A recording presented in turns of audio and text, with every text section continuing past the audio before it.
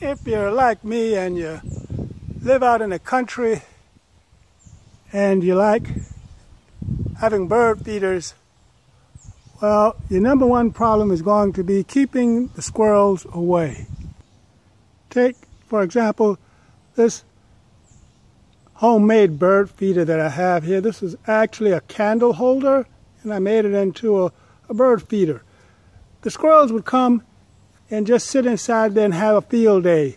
So I had to eventually place these wires here to keep the squirrels out so that the birds could come in and have dinner, lunch, or breakfast.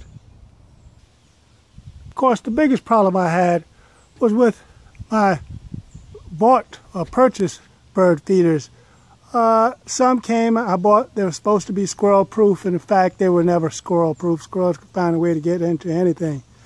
Well, I was messing around on YouTube, and I came across an idea, and I decided I'd try, and I found that it works.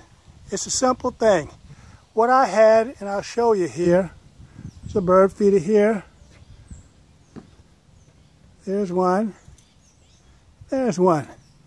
Now you see these, I painted them, but these were tin cans that I had lying around. I used, uh, I believe I had uh, some stain in each of these uh, for my deck.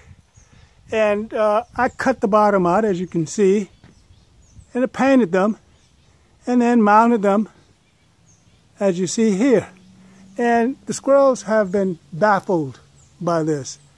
They have yet to figure out a defense or an offense to get around this. They come, climb the poles, they look up inside and become bewildered, fall back down, and run away. Now, I may sound like someone who hates squirrels. Well, I don't. I built a little feeder for the squirrels. Here it is here. I'm going to build another one, but this one I have uh, for them uh, to come in and they can munch anytime they want.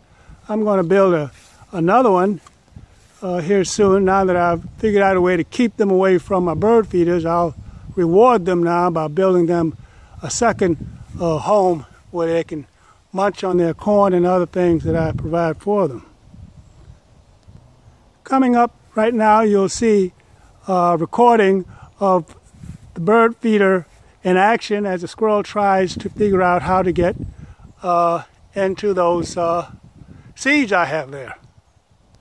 骨质疏松，身体好。那为什么我们喝奶它就能补钙？施总，您跟我们说说。嗯，现在喝奶啊，已经是大家的一种生活习惯。我们看一看啊，我们的下一代就比我们高，为什么呢？就是因为我们现在经常喝奶，羊奶中啊，钙的含量是非常高的。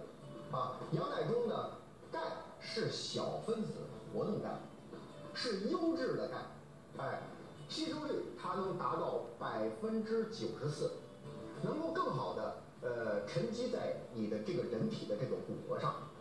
更高品质的羊奶粉，那真的是可遇而不可求，